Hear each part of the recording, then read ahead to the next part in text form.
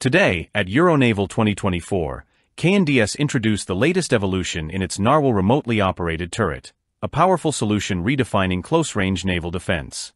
Designed for maximum versatility, the Narwhal brings a 20mm automatic cannon to vessels of all sizes, from swift patrol boats to heavily armed frigates, empowering naval forces with a heightened defense against modern, asymmetric threats like fast-moving craft and drones.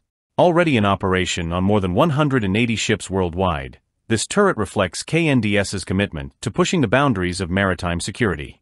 The NARWHAL, standing for Naval Remote Weapon, highly accurate lightweight, is built around KNDS's M621 and M693 automatic cannons.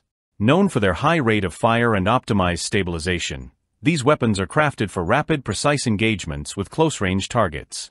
The system is available in two main configurations, the 20A version, equipped with the M621 cannon, which fires 20 by 102 mm rounds, and the 20B version, favored by the French Navy, which operates with 20 by 139 mm ammunition via the M693 cannon.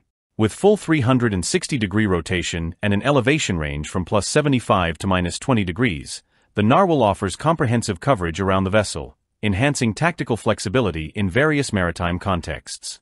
Equipped with an advanced optronic system, the Narwhal provides precise detection and tracking even in low visibility conditions, thanks to integrated day-slash-night cameras and a laser rangefinder. This means the turret can effectively engage low-altitude threats, including aerial and surface drones.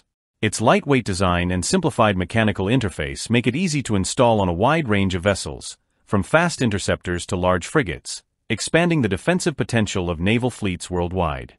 The Narwhal is already a central part of the French Navy's fleet, serving as the primary weapon on Confiance-class patrol boats since 2016.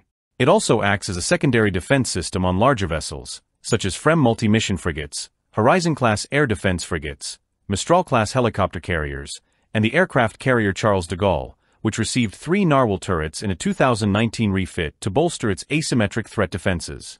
The growing international adoption of the Narwhal highlights its crucial role in today's maritime security environment.